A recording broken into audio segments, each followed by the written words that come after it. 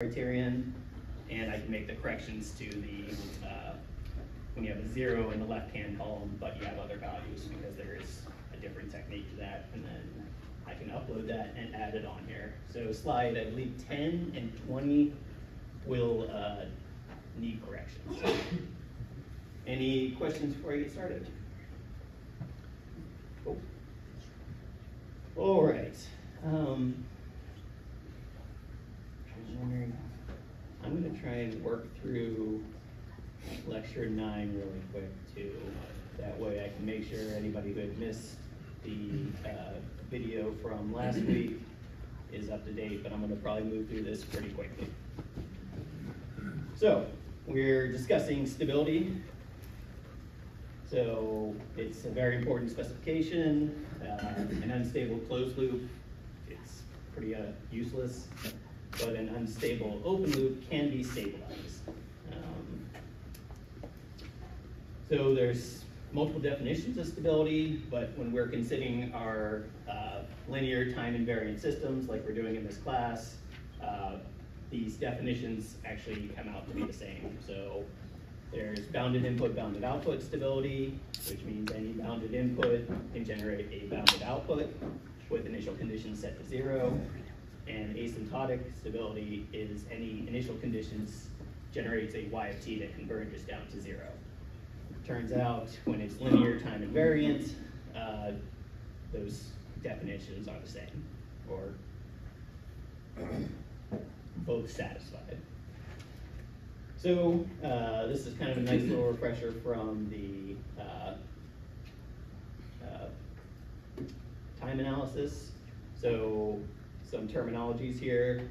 When we have a zero, that is the roots of the numerator of our transfer function, and poles are the roots of the denominator.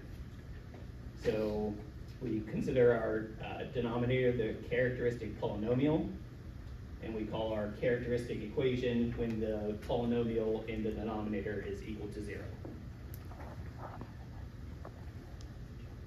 And again, this is a repeat saying that uh, for our linear time invariant systems, uh, bounded input, bounded output stability, and asymptotic stability are both satisfied when all the poles are in the open left half plane. Uh, If you want to go through this slide seven, do so at your leisure there, it's just kind of a proof that asymptotic and bounded input, bounded output stability are both satisfied for linear time invariant systems. And this is a repeat of what I've just been saying, bounded input and asymptotic are different in a general system, but for linear time invariant, they, these happen to be the same. So refresher on uh, time invariant or time invariant in this case systems. So for a time for a time varying system, for time invariant system, whenever there's a, a shift in time, there's a similar shift in the uh, output. So it is not time dependent.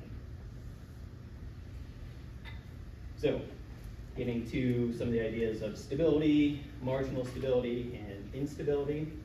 So a uh, system can be determined or called marginally stable if there's no pole in the open right half plane, that's given.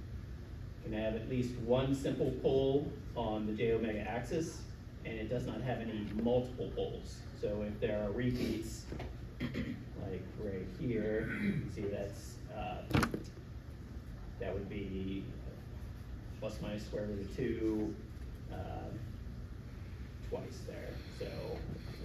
Actually, let's go ahead and redraw this, I think I have this already in my notes.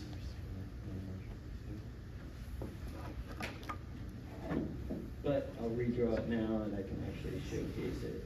So for that example, we had two roots at, that's nice, uh, J over two, that'd be approximately here and here. But since that uh, entire function is squared, we have multiple roots here and here. which means this would not be marginally stable.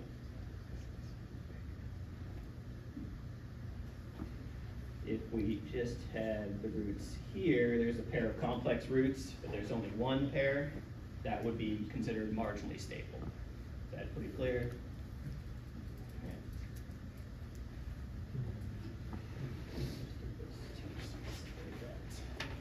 But, um, an unstable system is neither stable nor marginally stable. So this one we would consider unstable because of the multiple roots on the j omega axis. But this one is marginally stable, which means we could stabilize this with a feedback loop. Um, and, uh, for any bounded input, except for some special sinusoidal bounded inputs, the output is bounded, these marginally stable conditions. For any non-zero initial condition, the output neither converges to zero nor diverges. So here we have a good summary, uh, letting S sub i be the poles of the transfer function.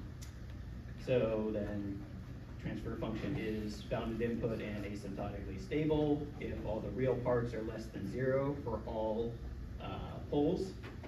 Marginally stable if the real part is less than or equal to zero for all i, and there can only be a simple pole for the real part of s of i equals zero. This sh- should probably add in here too, there can't be any repeated roots, like that. Wasn't quite clear there, but still applies. And the unstable condition is if e- neither stable nor marginally stable conditions apply, AKA we have something in the real, uh, right half plane, or we have multiple, uh, roots on the J omega axis. So for the marginally stable, Yes. what you're saying is the real part has to be less than zero, but it can be zero, there's no imaginary part? It can be zero, so we can have it right at the origin. Yeah. Yes. As long as there's no imaginary. part. And Is that there can also be, um, there can also be imaginary components, like a complex Oh, pair. yeah. Also at the zero part, but if there's repeats of those imaginaries, Right. or there's a repeat at the, uh, at the origin. So if we happen to have, I guess that would just be a one over S squared. Would not go, so something that's one over S, there'd be a simple pole at zero. Um, but if it's one over S squared plus some other terms, uh, that would be multiple at the origin, which would not make it marginally stable anymore. That help? Yeah.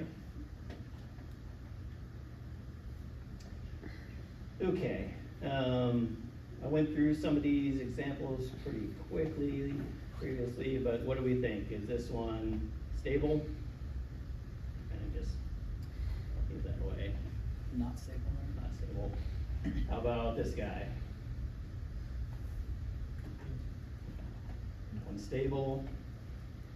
We've got right here, uh, what about this, uh, this guy? Factor that S out. Should make it stable, because we do have a, we factor the S out, we have, uh, pole at zero, and then S plus B, meaning S is probably negative B, whatever B value is, giving this in the left half plane. We have the left half and one simple pole at the origin. Um, how about this guy? That one, uh, yes, by the rules there, it kind of depends on if B or K happen to be negative, we're assuming positive there. But, uh, this would be considered stable also. But does depend on B and K value. Um, gonna run through these again really quickly, but, uh, we did cover this in the video. What do we think about system one? Did you post the, the answer of those or no? Uh, no, I didn't post the answers to these directly, but I Mhm. did discuss them in the, uh, video, Oh, okay. yeah. Um, but I don't believe, let's see what I uploaded again. Uh, no, I don't believe I actually posted whether each of these are stable, marginally stable, or unstable. Um, but I think I heard someone say, yes, we are stable here. Each of these, negative one, negative two, negative three, that's a stable system. Um, number two, what do we think? Yeah, unstable. Obviously, we have a hole in the right half plane. How about number three? Marginally? Right. That would be correct, because this one would be uh, plus or minus square root of uh, j, or plus or minus j square root of three. Um, But this one's negative five, so yep, we're good here. How about number four? Unstable. That's unstable. We do have uh, multiple uh, roots on the j omega axis, or repeated roots on the j omega axis there. And what do we think about this last one? It probably is, but we, none of the rules that we've covered so far should be able to answer that. Which is where we turn to the Routh Hurwitz method. So we have a few criterion for using this. This has to be a linear time invariant system with a polynomial denominator. So we can't have any sine, cosine, exponentials in our denominator. It'll determine if all the roots of, a- of the polynomial lie in the open left half plane or equivalently, equivalently have any negative real part. Also determines the number of roots in, of the polynomial in the open right half plane, but it does not compute what those roots are. So it would tell you how many, uh, tell you whether or not, uh, roots are in the left half or right half plane, but won't answer what those roots are. It's gonna be used, uh, rather quickly to, um, manually determine if your system is stable or not. But, and there's an added note, there's no proof provided in any controlled textbook that Dr. Tymerski has found. Um, I was able to go back into the book and correct the issue that I was having on Friday with his slides to find that, but still didn't see any actual proof there. So, getting into this method a little bit more, we can consider any polynomial as the form uh, q of s, a sub n, s to the n power, plus a sub n minus one, s to the n minus one, all the way down to uh, s and s zero powers. So we're assuming that uh, a sub zero is not equal to zero. If this assumption does not hold, q can be factored as s to m, all multiplied by uh, s to n minus m, giving us a nice uh, linear algebraic equation where a, the average of a is not equal to zero. The following method applies to the polynomial. So this basic Routh array, again, this might be easier to, I'll get to it when I get to draw it out. So we have this Routh array. So in this top row, we have all, I like to refer to it as the even powers, uh, at least as a rough start, but uh, depending on whether your um, first term is an even or odd, uh, would determine whether this is even or odd. So I guess that's not a fair way to think, that's just how I think of it. But as you proceed, so let's say this is uh, s to the fourth. So the coefficient of the s to the fourth term would go here. The coefficient of the s squared term would go here. And s to the zero power, or the coefficient at the end, would go here. And so on and so forth if this was a larger array, uh, or larger polynomial, I should say. Then we would take the, uh, for that partial example I gave, s cubed term, coefficient of the s cubed term, coefficient of the s, uh, the first power term, and then this one would be left as a zero. But we'll get into a little bit more of that. But that's how you construct just these top two rows from your original polynomial. That roughly make sense right now? We'll Get into a few more examples. There's a lot of examples here, which is, I was unfortunate to say that when I took that, had the Friday course on Zoom, would have, would have probably been a lot better to, if I had some kind of dot cam, so I could kind of work through those examples with you guys, which is also why I want to refresh all this today too. But from there, we can form the rest of these arrays from this first two. And we'll get into some, uh, actually getting right into how to compute the third row. So when computing the next row, we take the values that we have in the, from these coefficients and make a, a I can't remember the term for it because I haven't had linear algebra in so long. But we're basically doing some linear algebra on this where we cross multiply, or not really cross multiply. We're crossing the a to the n minus two term with this a to the n minus one. This is what I called in the video, I also called the uh, determining, uh, what did I call it? Just a term that I like to use for it, um, determining denominator value. Um, I'll have that, but this is what you put into the denominator on each of these calculations. So we're using the term here uh, the coefficient term here as our uh, denominator in all of our calculations to build out this row. As we progress down, we'll be using the next coefficient to build the next row, but that'll always be the determining uh, division uh, right there, so this column.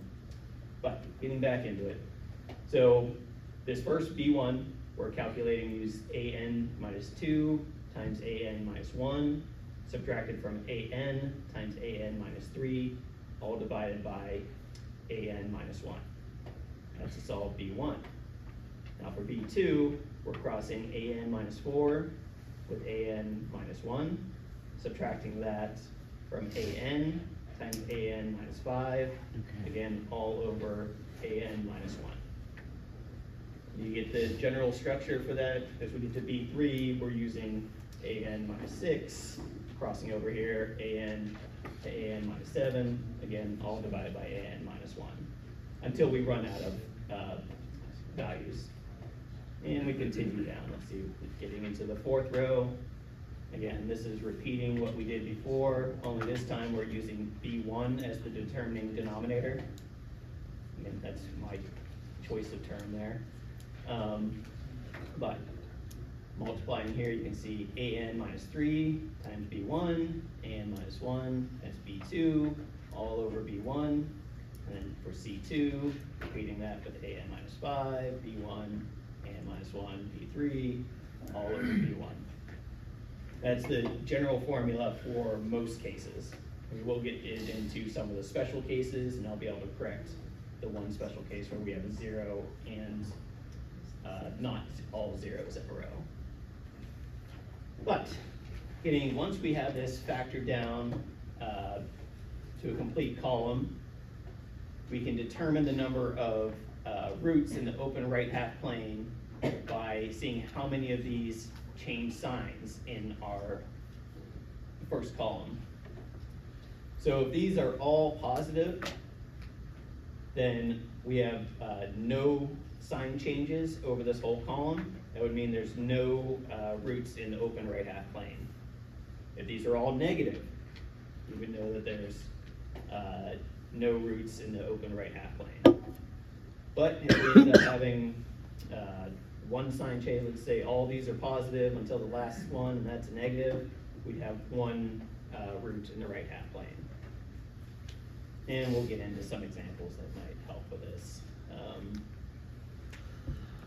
but example one, I'm going to kind of uh, showcase how we built this again. So this is a uh, odd term, and it's the highest power. So we put that at the top of our array. And then we use the coefficients here. So the one matches with the, what would be the one here.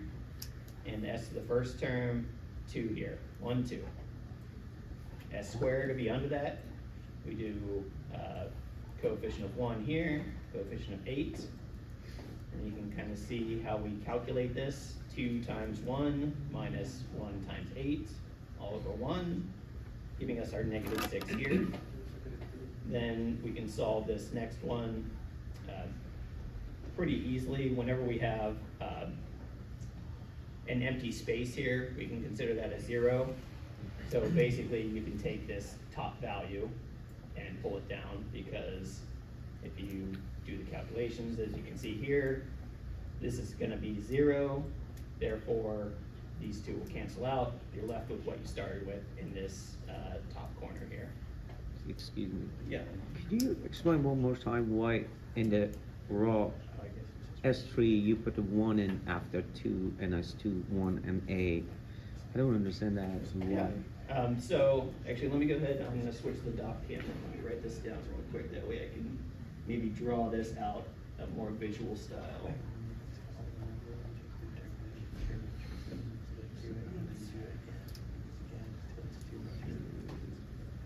Okay, and I'm gonna write in the coefficients here also, just to make it a little more clear.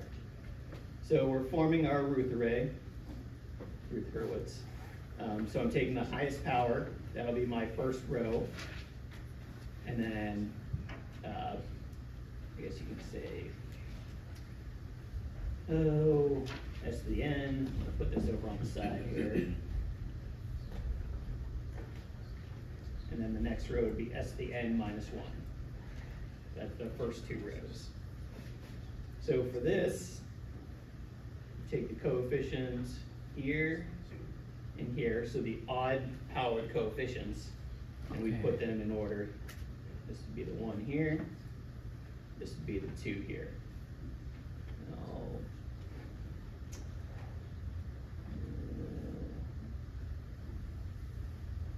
uh, All these star, Okay. and these ones will be X, just to give it a designation. So we took these odd powers, so S cubed and S to the first power, uh-huh. and bring those down in order. Now we're gonna take this, and I'll do a little dashed line here, and an arrow. Take these X terms and bring them down. And those become the coefficients in the second row. Okay. Did that help a little bit, a little Yeah, more yeah, visual? yeah. Thank And you. From there, we can calculate out there. Yeah, I know I said it a few times during the uh, Friday class, but I feel like this is a very visual um, kind of idea there. Thank you. You're welcome.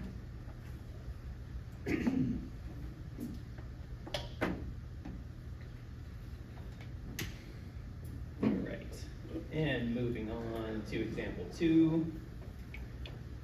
This is kind of, um, well, work through this a little bit. Again, another example where we're taking, this is uh, to the third root, or third power. So we're taking the one coefficient that would be here, dropping it here. The six coefficient dropping here, since this is the other odd power. These the even powers to the coefficient three and the coefficient eight, bringing that down. And then we'd solve this one using that, uh, uh, it is a general formula to calculate the next one, so this times this, shown right here, minus this times this. Also shown here just without the one, since that becomes eight anyways. But then we have eighteen minus eight over three, which becomes ten over three. And then, because this is zero, actually, let me, I think, quick.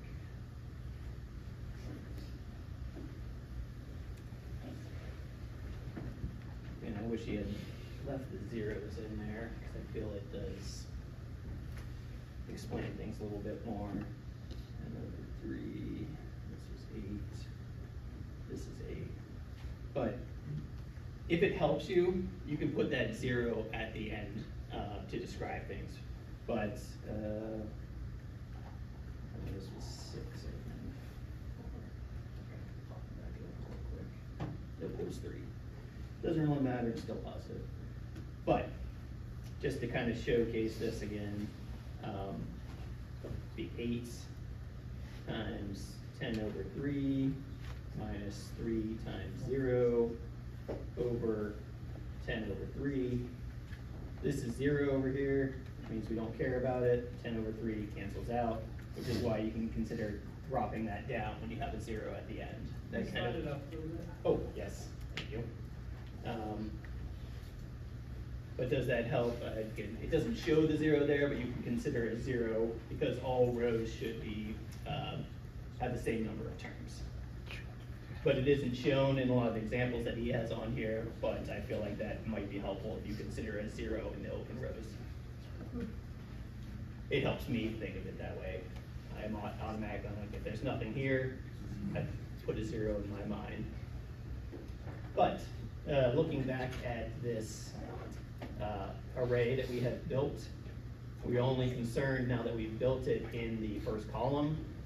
Positive, positive, positive, positive, no changes there, which means we don't have any roots in the open right half plane. And that's kind of shown here when you actually calculate out the roots. You got negative two and negative one half plus minus two, fifteen over two.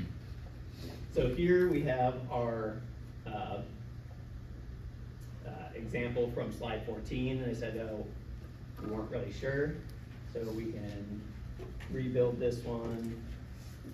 Again, I'm gonna go ahead and just work through it. I feel like if I keep working through these, I can help reinforce it.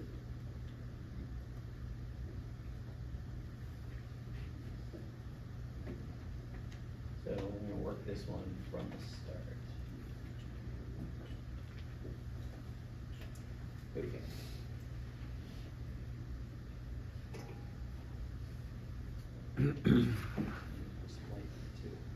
Okay, so we have a fourth order, order term here. Put that there, and then one minus that, or the power of one less. So we have a one here. I'm gonna circle these ones, they're gonna be my first row. One, ten, and one. And then put some X's above these ones, that'll be the second row, circle. Five, three, and we don't have a term here, so I can make that a zero. So, moving down, we need to make our S squared, S first, and S to the zero powers. Solving this one, I am going to do, uh, ten times five minus one times three, all over five. Fifty minus three, forty-seven fifths. And then we know from this one, since this will multiply out this zero, or this one, sorry, can come down here. And calculate that one. All right, moving on to the next one. Let's just label this as squared. Label this as first. So now we have five times one minus three, oops, wrong way, did that backwards. Three times forty-seven fifths minus five times one over forty-seven fifths. And just like he put in the slot now. Anybody wanna calculate that point? Let's see, that's three, one forty-one over five minus twenty-five. It's a hundred and sixteen forty sevenths. And sixteen forty-seven, forty-seven, no. Yeah. One sixteen forty-sevenths, that'll work, but main thing we care about is positive. Also luckily, we're getting close to the end, so we don't have to worry about bringing that back in. I'm gonna put the zero there as a reminder. We can once again drop this one down, which means we only care about, put this in lines. Do This column, we've got a positive value, which will probably something that's less. Positive, positive, positive, positive, positive. That looks good. That means we have no sign changes and therefore no uh, roots in the open right half plane. Because of all positive. Because there, well, because there's no sign change, I should say technically. Because if they happen to be all negative, there'd be no sign changes also. That would also still mean that they're all open left half plane. Okay. All right, do, do, do. and here's, um, some quick, and this applies mostly to, uh, uh, I'd say mostly the first and second order. I don't think I'm gonna ask you any that are higher order polynomial to do without using Routh-Hurwitz. But if you're looking at a first order polynomial, if all roots are in the left hand, left half plane, then A one and A zero would have the same sign. If they have opposite signs, that would mean that it most likely has at least one, uh, root in the open right half plane. Does that make sense? Is, especially from a first order equation, if they are opposing signs, then you're gonna have, one of the values gonna be a, uh, value is gonna be positive, which is gonna put it in the right half plane. Same thing with the second order polynomial. Um, If A, if the coefficient A two, A one, and A zero have the same sign, then all roots are in the left half plane. You can make a very quick assessment on first and second order polynomials. Everything, every coefficient having the same sign means that the roots are in the left half plane. Doesn't matter negative or positive. No, if they're, if they're all negative, it's still, it kind of, you can think of, it. I like to think of it this way, you can just take a negative one to the outside, and you're back to positive, positive, positive, but it would still have the same roots, all just minus, times negative one coefficient at the end. So the roots would still end up moving into the left half plane. It- that kind of makes sense? I- That's kind of something I do in, in my head on something like negative, negative, negative. Um, Couldn't there be a scenario where depending on how large A two and A one are, if you do follow the Hurwitz formula, could you also get some sign changes even if they were all positive? Depending on how you say, if you're using very large numbers there. Yeah.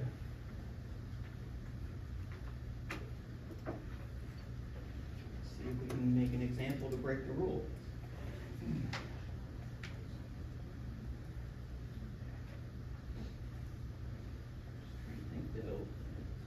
especially for first order, it doesn't matter how large you make that, because then you would factor it out.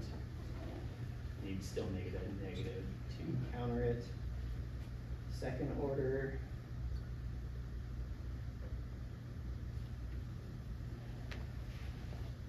No, because all that would affect the larger values there, as long as it's all positive, would only affect the location of those roots, not whether or not it would be in the, the left half plane or right half plane. It was a good question though, I like that. Um, I might need to research, I mean, there might be a condition that would break it, but because no matter what you have for A two, you could factor that out and then put the other ones as one over, so then you're back to an S squared plus plus. You would have to, you could still break that down, and yeah, the, it would still apply, uh, for everything that I'm doing in my head right now. Um, but my thought is, it, depending on, you can make A two as large as possible, factor that out, then you have, uh, A one over A two and A zero over A two, which would still be positive. Once you factor those out, it'd be a positive and a positive. Um,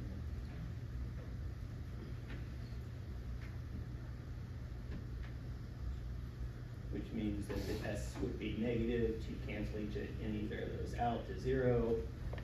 And yes, I do believe that should work for all conditions there.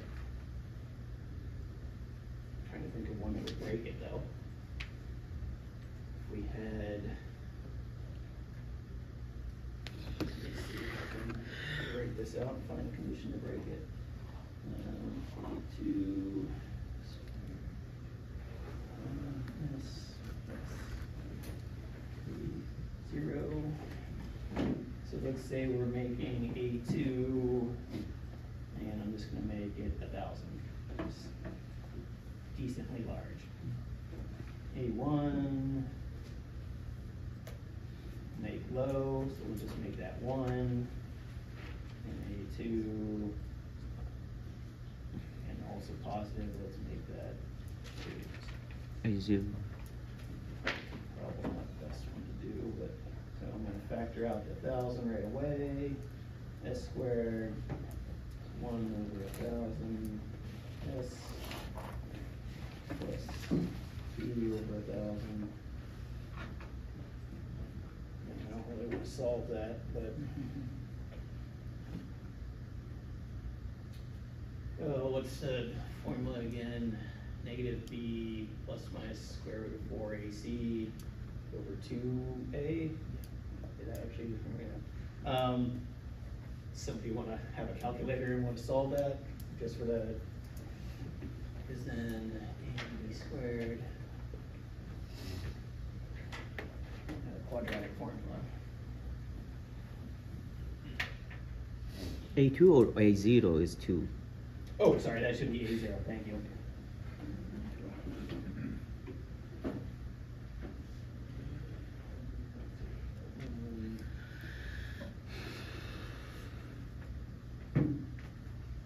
I think I have access to MATLAB on here also.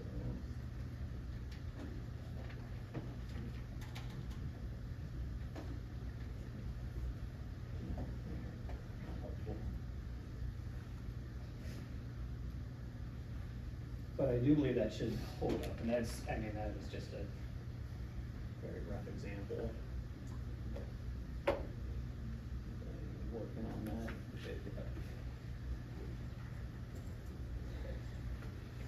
Calculator.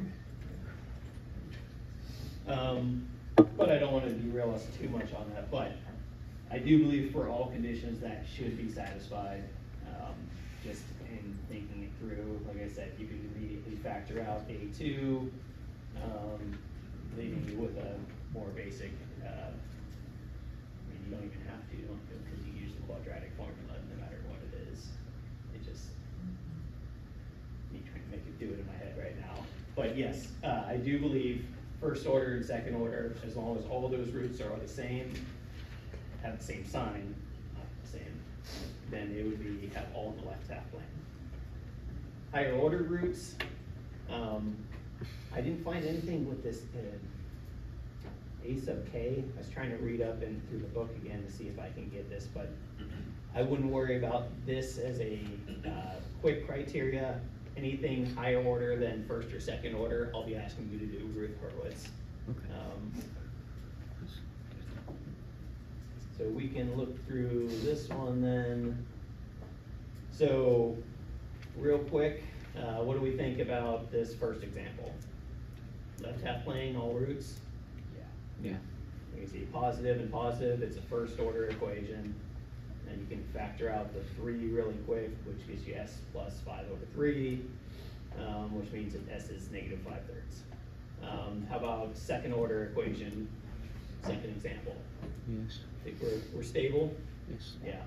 Um, again, negative two, negative five, hundred. We can say that all roots are in the left half plane. Here's another second order. What do we think about this? No? No.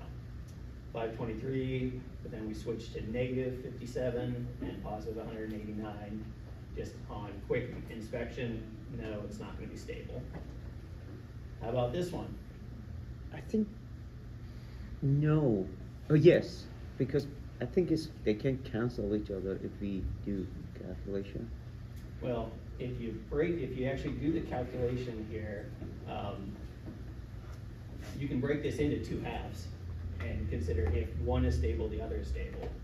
But you can also multiply that out and see that you end up having, those Cancel. cancel out, that's the fourth minus one. Um, if I did that correctly in my head. Plus minus, uh, I'd probably have to work it out even further. But you can break this into the smaller chunks there.